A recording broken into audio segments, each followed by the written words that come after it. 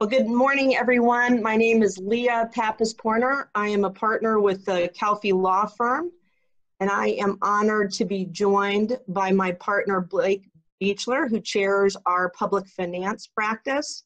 But our great guest today is the treasurer of the state of Ohio, Robert Sprague. Thank you for joining us. We really appreciate the time and uh, your future comments in this webinar. Thank you so much for this morning. Thank you very much, Leah. Uh, looking forward to seeing you again soon in person, not just via Zoom, but this technology is fantastic. Uh, Leah, of course, is a force of nature in Columbus, and it's a great honor to be with you this morning. And looking forward to answering your questions. Uh, Blake, thanks for joining us from uh, Cleveland, and looking forward to answering your questions as well. As we get started here, I just wanted to first of all say thank you to John Mino as well. Uh, he's doing a great job in your DC office. Always enjoy being with John. He's got something interesting to say and a, an interesting perspective on things every time I talk with him. And uh, we we truly are strong as Ohioans, and I think that it's our resolve that has led us to this wonderful recovery so far uh, in the state of Ohio. And we have a lot of opportunities ahead. Uh, there will be some belt tightening. We just saw from OBM, we've got about a $2.4 billion reduction in revenues. Uh, that's actually real money, even for the yeah. state of Ohio. And so there's going to be difficult decisions along the way, but the Treasurer's Office is leading on that.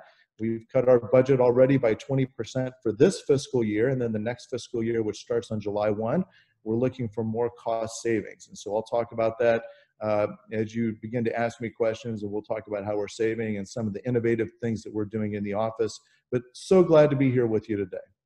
Well, thanks for your time. I, uh, as I sit in our Columbus office and look over our beautiful state house, um, I am excited for the reopening of Ohio and, and everyone coming back down to our capital and and uh, resuming the work that that we do for our clients and uh, advocate for them. So with that, I'll jump into a very hot topic, which is the CARES Act. Mm-hmm. Um, you know, many of us followed uh, what Congress was doing and watching as it as it moves to the state. So, as the CARES Act hits Ohio, give us your opinion about at a local level and at a state level. You know, are we ready for the CARES Act money? Uh, is there enough flexibility around the use of the CARES Act money? Give us kind of your thoughts around that. Sure. Well, I think uh, the U.S. Treasury has issued guidance. We've received that guidance from the U.S. Treasury.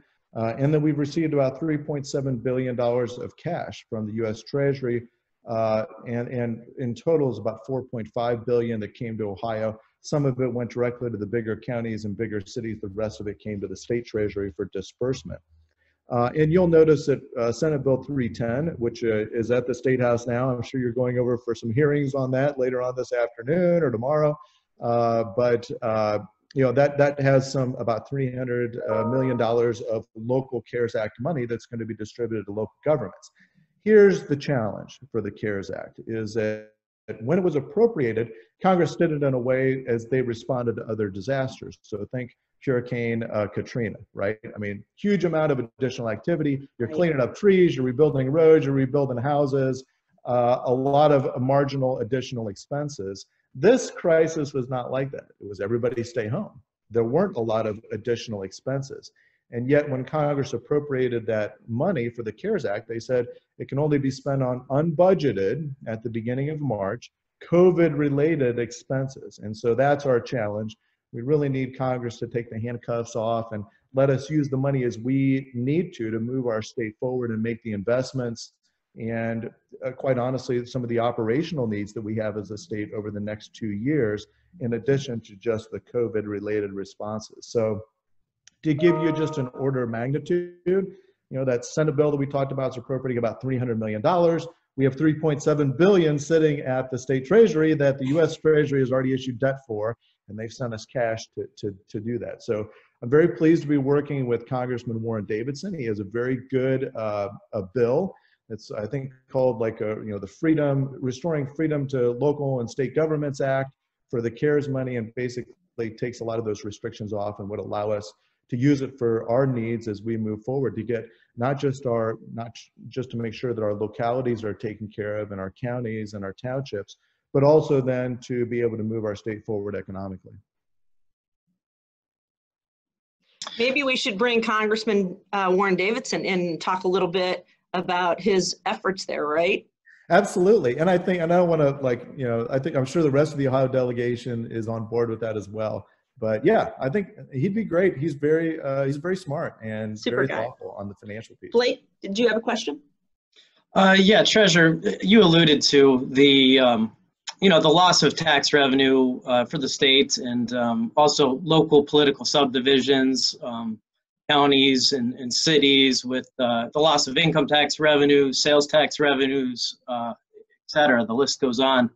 Um, how do you uh, how do you think that will affect the um, the ability for those local political subdivisions to you know issue bonds or, or indebtedness to uh, finance uh, capital projects or, or other needed permanent improvements?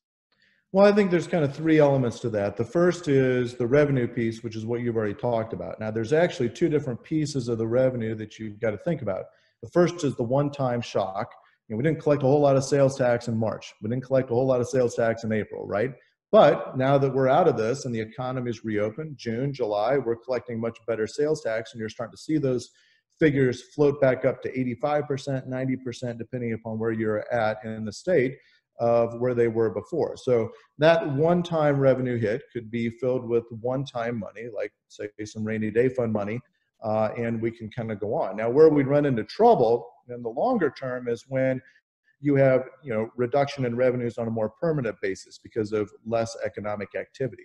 So if that bounce of sales tax or income doesn't get back up to that 100% level, you know, it only reaches 92% or whatever that is, that's where we're going to run into trouble on down the road. And it's tough, quite honestly, to forecast that right now. Uh, that being said, do I think that municipalities or local governments are going to have trouble accessing the debt market? My answer to you would be absolutely not. We actually went to market last week uh, with, uh, I think, about over $150 million issuance. Lisa Eisenberg led the transaction from our team. She did a phenomenal job. Um, and you're not going to believe this, but I mean, we got 1.4% on 15 year paper. It's just unreal. Wow. And one of the reasons for that, quite honestly, is that you're starting to see a stratification in the credit markets across the country, uh, not, not just in corporate debt, but also in the muni debt. And the strong, you know, there's a there's a tremendous thirst and need for strong credit, and the state of Ohio is an extremely strong credit not just because of the underlying diversity of our, of our economy, which is one thing the credit ratings look at, but also because of the very low amount of debt service that we currently carry. You know, we're only at 4.7% of uh, GRF revenues, uh, which is by design in, in the Constitution, but it's a lot lower than a lot of these other states that are, you know, kind of comparable to us, whether it's California or Illinois or Michigan. And so people look at that and they say, wow, state of Ohio's done a great job managing their debt rating. Now, your question was about localities, and I'm getting to that. And one of the reasons is because we have an Ohio market access program that we run out of the treasurer's office. So here's what we'll do for any local government. If they'd like to enter the credit market and they're going to issue a bond anticipation note, uh, we are willing to put the full faith and power of the state treasury behind that local government. So we essentially guarantee the repurchase of that into our investment portfolio. And the way the credit market looks at that uh, guarantee is that they're going to give that local municipality the same credit rating as the state of Ohio.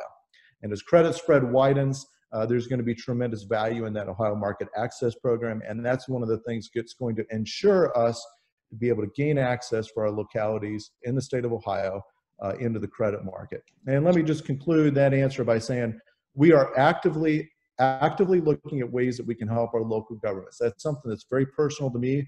Being former city auditor, city treasurer, I understand, I've seen this movie before. And I understand what municipalities and local governments are going to face in this recession because I was there during the great financial recession.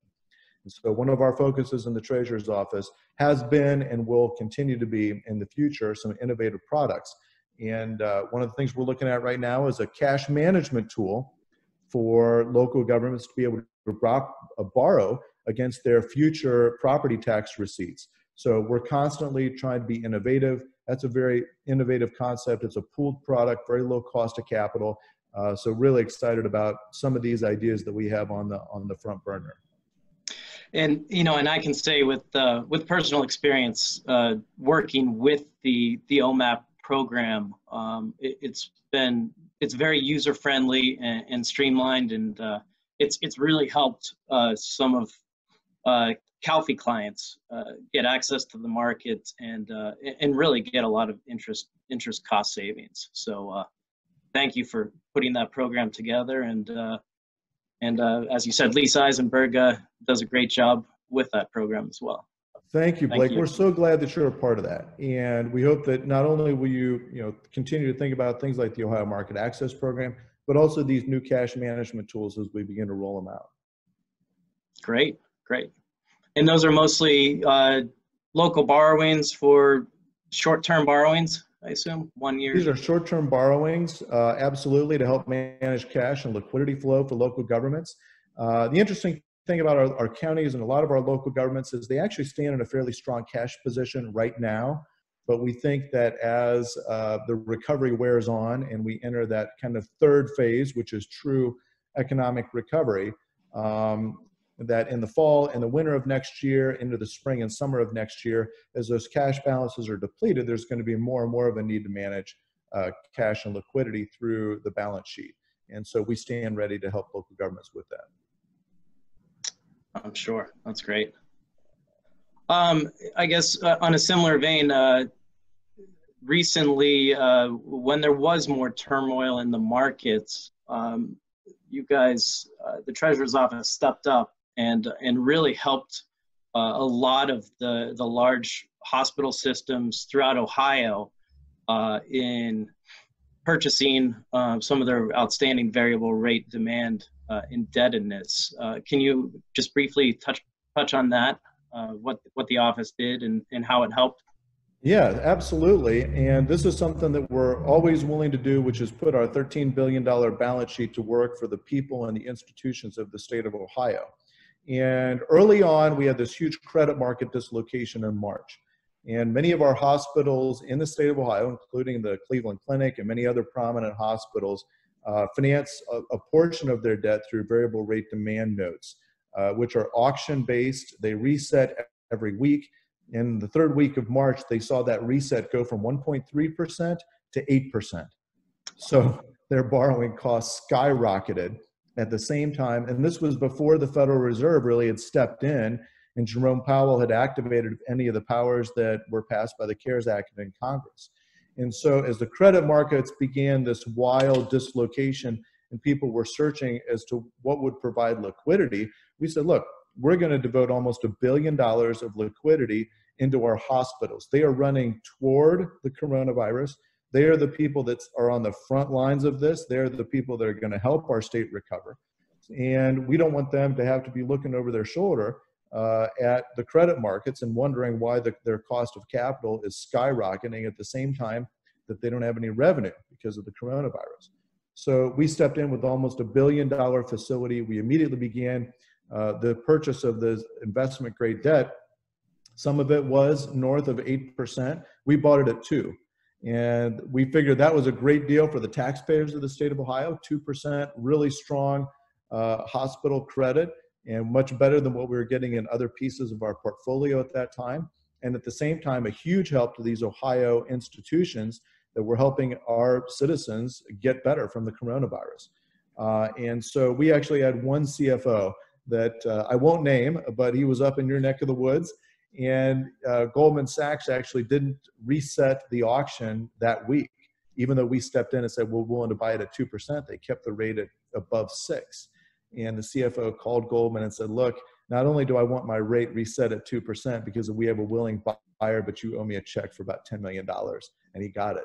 So this wow. is big money for our hospital systems, and I think a huge help in also returning and using our balance sheet to restore stability to the credit markets in Ohio. Well, we certainly appreciate you stepping up and uh, and helping helping our local hospitals. That's that's Thank great. You. Thank you. I do want to mention uh, we've got a lot of qual- uh, quality people on our team, very innovative people, and John Azoff deserves a huge amount of credit. he's a, a Clevelander, uh, and I want to mention John's work because I know you've worked with John, and he's Yep. done just a great job with that program. Very innovative. Treasurer, as you know, we are fortunate in Ohio to have so many wonderful financial institutions. Both small community banks and the large national banks, and several headquartered right here in the great state of Ohio. When you look at our financial institutions, how have they fared through the pandemic? And um, what has been kind of your interaction with them and any feedback that you have about them? Because, you know, many of us rely on their uh, employee base, uh, their community involvement, and the great innovative work that they do uh, for the financial market. So, uh, give us some reflection of, of how they're doing. Well, let me pick out, uh, you know, a very special player in the in the banking market up there in Cleveland is KeyBank, and they're special also to the state of Ohio. We have our depository actually for the state treasury with KeyBank, uh, and KeyBank has been fantastic. They help manage our liquidity during the crisis, and as a result, um, and we're constantly trying to build liquidity because we're running through about 150 million dollars a week uh, at the state that we're spending, and so we're always looking at our ladder. Uh, we're looking at our money market availability and always trying to, you know, position ourselves from a, a place of strength and liquidity. We have almost, uh, I think, half a billion dollars now at Key. And there's a couple different reasons for that. And we've put money at a lot of the other Ohio banks and, and institutions. Um, and we, again, we freed up and, and we're prepared to do almost a billion dollars uh, in our Ohio lending institutions. Why? Because we know when we put deposits at a community bank uh, maybe in my hometown of Findlay or Cleveland or you know anywhere across the state, we know that those deposits eventually are going to help small businesses. Those are going to be the that's the money that then the banks can loan out to small businesses to get our economy restarted. And why shouldn't we bring back our money from New York City and those securities and put it to work here in the state of Ohio so we can make those loans and get our economy back on track. So that was something that we did early on and we really appreciate all of our banking partners and the financial institutions across the state. And I want to answer your question uh, directly. You know, what do you see in terms of the strength of our community banks and also some of the large uh, banking partners that we have across the state, Chase and Fifth Third and Huntington and Key, some of the biggest players, uh, PNC, some of the biggest players in the United States. I can tell you they are strong this is a much different uh, financial situation than 2008, 2009, and 2010, which was really a financially induced economic recession. This is a demand shock. And clearly, there's going to be, you know, not all sectors are treated the same. I think we can all see that if you're an airline, uh, it's going to be a Yeah. tough road ahead, right? If you're in the hotel industry, I mean, I was talking with a, a, financial institution. They said that some of our hotels are at 50% capacity, which they're thrilled about because they were at 10% earlier in the month. But even at 50%, uh, they're only able to command two thirds of the pricing that they were before the crisis. So there's a pricing problem along with an occupancy issue. So you know, I mean, there's there's credit risk out there. Obviously, there you know that's going to be difficult. A lot of our restaurants and some of the retail space and getting that open. But one of the things that you've seen our financial institutions do, both the community banks and credit unions and our big, uh, large financial players, is they've all reduced their credit exposure to commercial real estate. And that's a good thing. And they also have a lot of liquidity that they've built up at the Federal Reserve uh, and a lot of reserves in at the Federal Reserve. Uh, and the Federal Reserve has made dramatic changes thanks to Chairman Jerome Powell, who's done, by the way, a brilliant job of managing this crisis. Uh, they've changed a lot of the requirements for banks, so now that liquidity is freed up on their balance sheet, some of those reserves. So there's a lot of things that are happening behind the scenes that are you know, kind of more complex and technical that the Federal Reserve is doing to make sure that both our large lending institutions and our community banks and financial institutions can respond to this. And they're doing a great job. Uh, the final thing I'll say about this is we had a terrific program that Congress enacted and that our banking system partners implemented, and it was the PPP program. I can tell you early on, I had my entire team looking at, look, I mean, how can we get small business back up and running? Is there a program that we could run out of the treasurer's office using our balance sheet to help with small business loans. And quite honestly, Congress came along and, you know, they've got a bigger balance sheet than I do. And plus they were offering loan forgiveness and, you know, they paid for payroll and mortgage expenses and, and utilities for eight weeks. And we said, well, we can't compete with that. What we'll do is we'll just pile on and make sure that, that everybody knows about it. And so our regional liaisons went out to the chambers and said, look, you got to take advantage of this PPP program. And our financial institutions, they did such a phenomenal job of getting those applications processed.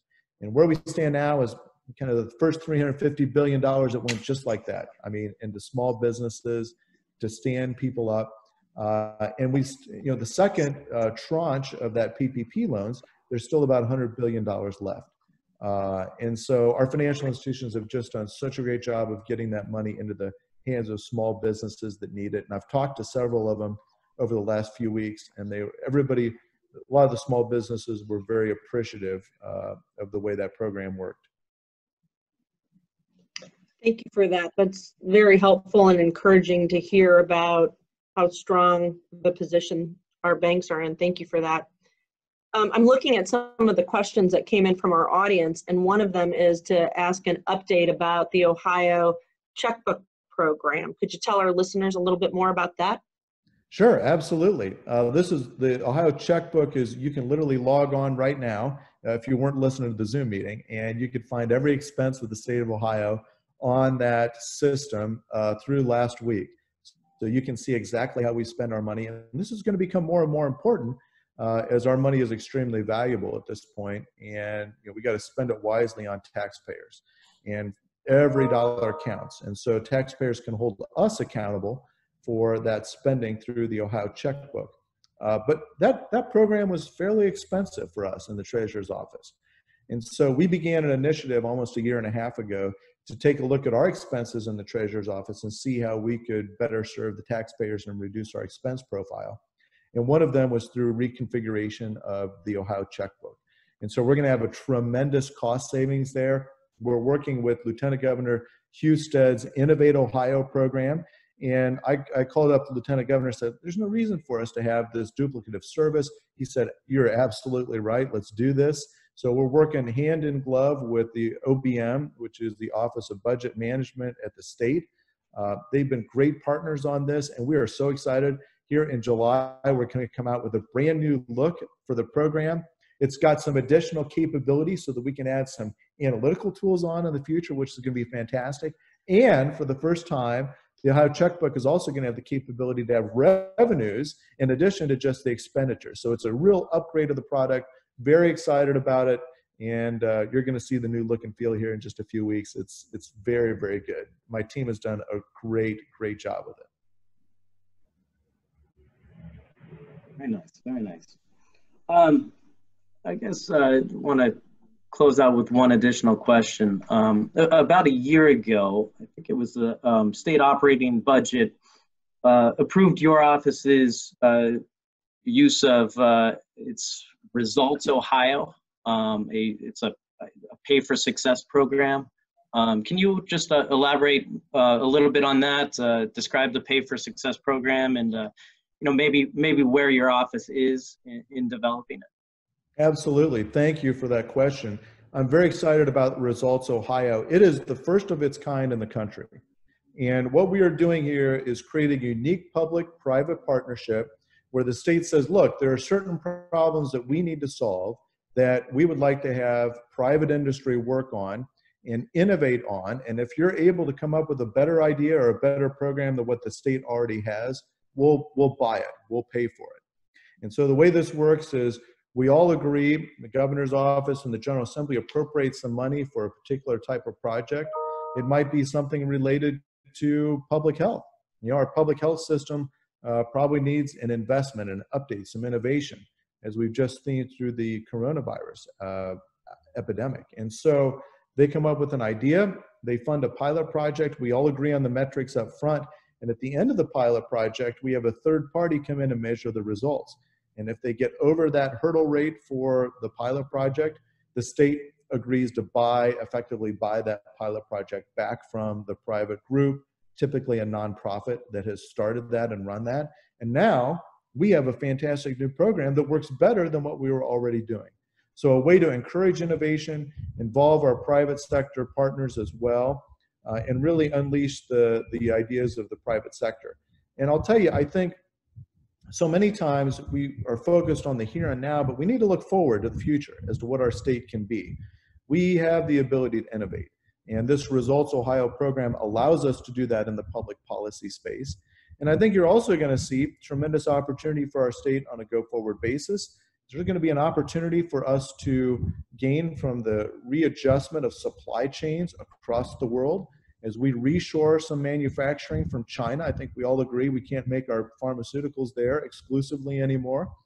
And there's going to be opportunity there and also in our competition with other countries in terms of the airline industry. That's another place that we lead in in Dayton and in, in uh, Southwest Ohio. GE has the most advanced airline engine in the world in Ohio.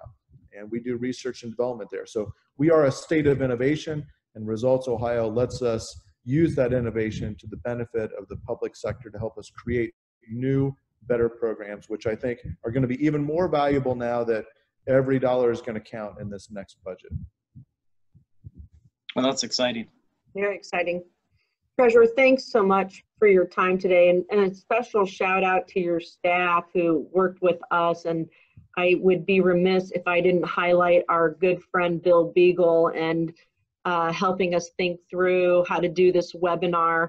And uh, I'm looking forward to the time that Bill Beagle makes us cheesecake because he is probably one of the greatest cheesecake bakers of all time. and so uh, until we can see each other again, face to face and your team Blake and I just want to say a great thank you to the treasurer's team and to you treasurer Sprague for your leading the state and for joining us today. I hope uh, our Calfee friends that are listening enjoyed uh, the comments and the conversation. We miss you and uh, look forward to seeing all of you again. Everyone stay safe. Thank you, Treasurer Sprague. Thank you to your staff. Blake, great seeing you as well. You too. Thank you so much. Thank you, Blake. Thanks, Leah. Look forward to seeing you soon. Thank you. Thank you so much. Bye-bye, everyone.